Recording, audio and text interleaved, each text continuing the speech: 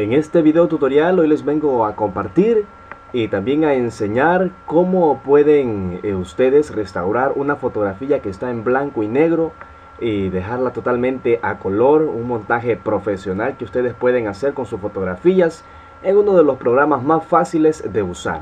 Estamos hablando de Photoshop. Eh, es el programa de diseño gráfico donde ustedes pueden hacer sus montajes, hacer sus banners, eslogan, eh, tarjetas de presentación, lo que ustedes puedan eh, inventarse, acá lo pueden hacer en Photoshop. Yo uso el CS6. Ya lo sabes, si quieres tener un buen resultado en tus fotografías, en cómo hacer una fotografía de blanco y negro, pasarla a color, te invito a que veas este video hasta el final. Así es que comenzamos.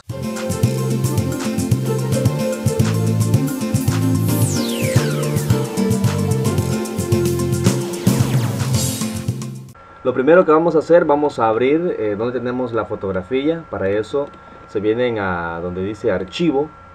Uh, buscamos donde dice abrir. Buscamos la fotografía. En este caso yo ya tengo los PSD, que son los proyectos de los trabajos que hacemos. Eh, buscamos la fotografía en la cual estamos trabajando. Ya terminamos una de ellas. Vamos a buscar la segunda, que sería esta de acá. Como pueden ver, aquí ya tenemos ya la fotografía cortada. Eh, ya quitamos el fondo que había detrás. Eh, solamente hay que restaurar lo que es esta parte de la fotografía. Aquí lo que vamos a hacer sería lo siguiente. Vamos a quitar todas estas manchas. Acá tenemos también eh, dañada la fotografía esta parte de acá. Y lo vamos a hacer ustedes pueden buscar las herramientas que están en esta parte de acá del programa. Vamos a irnos a herramienta de pincel corrector puntual para quitar eh, los puntos negros ustedes podrán ver que ya se van desapareciendo. Eh, esta herramienta solamente sirve para quitar los puntos puntos negros que en muchas fotografías tienen. Si ya la fotografía está muy dañada pueden utilizar otra herramienta que también sirve para la restauración de fotografía. Esto lo pueden hacer ustedes despacio sin apresurarse. Recuerden que si lo hacen más despacio les quedará eh, mejor el resultado. Así es que yo voy a, pausar el video y luego vamos a, ver qué resultado obtenemos eh, restaurando esta fotografía.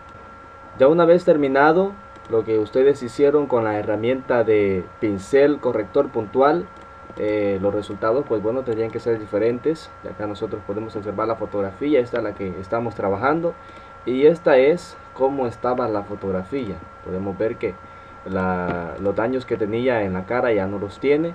Es una herramienta sencilla y con buenos resultados. Ya una vez que hayan terminado de eh, quitar algunas de las imperfecciones de la fotografía, vamos a seguir a lo siguiente. Yo en este caso no voy a, tocar lo que es eh, lo que es la blusa o la camisa de la, de la persona que está en esta fotografía porque vamos a cambiar ese vestuario vamos a poner otro vestuario diferente no, no lo que nos interesa es restaurar lo que es eh, el rostro. Y bueno por supuesto como se trata de este video de pasar esta fotografía a color. Lo primero que vamos a hacer vamos a duplicar la capa. Control J. Tenemos la capa duplicada para que puedan trabajar mucho mejor. Luego de eso vamos a ir a capa esta parte de acá. Vamos a nueva capa de ajustes y buscamos donde dice tono y saturación. Tono y saturación damos clic y damos ok. Aquí nos va a aparecer los ajustes de tono saturación y por supuesto también la luminosidad. Aquí es muy importante porque ustedes acaban a poner eh, unos valores que lo van a ver acá conmigo cómo van a hacer acá para que pueda darle un color a la, fotografía, un color piel.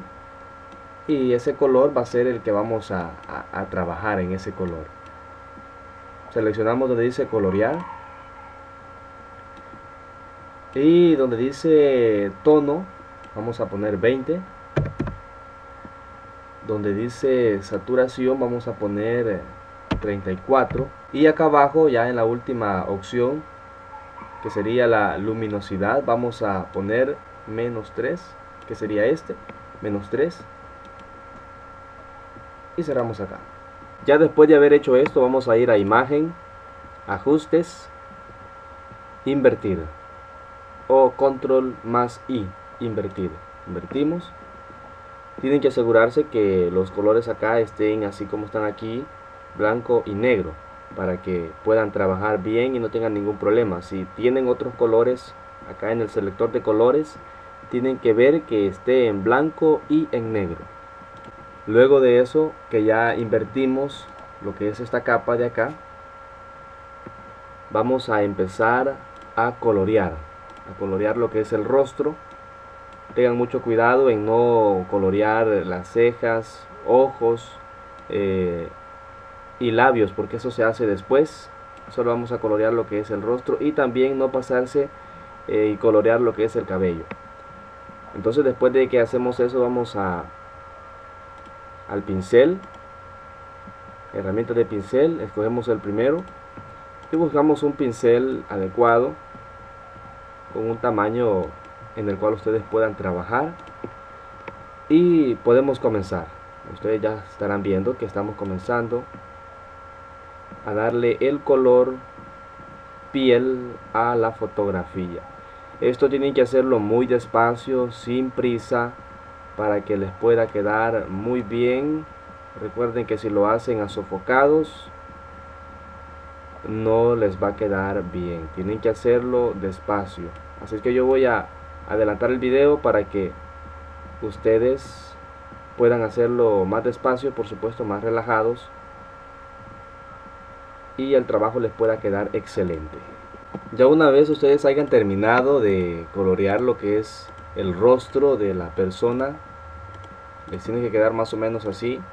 Eh, los labios libres, eh, lo que son también las cejas y por supuesto la parte de los ojos y el cabello. Si ustedes hacen correctamente esto, al final van a tener un resultado bueno.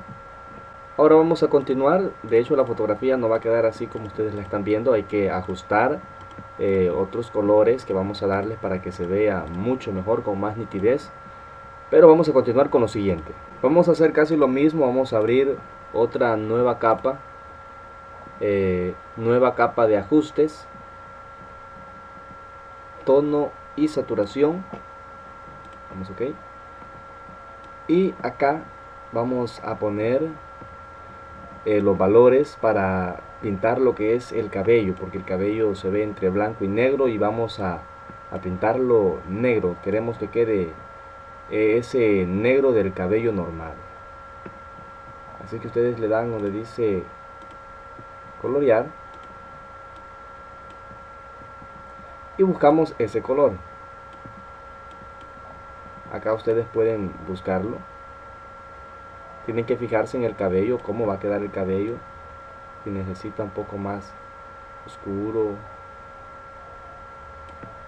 No se fijen en el rostro, fíjense en el cabello, cómo quieren ustedes que quede.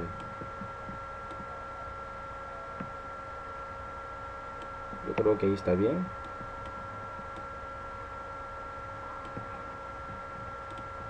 Vamos a dejarlo acá. Hacemos lo mismo. Imagen. Ajustes invertir. Volvemos a acercar y vamos a empezar a pintar el cabello.